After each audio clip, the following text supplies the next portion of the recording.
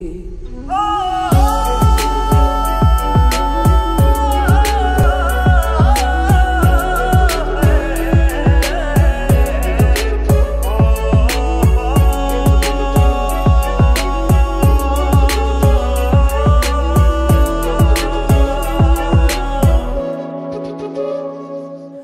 ਚੜਦੇ ਸੂਰਜ ਵਰਗਾ ਤੇਰੇ ਪਾਜੋਂ ਢਲਦੀ ਸ਼ਾਮ ਹੋਇਆ?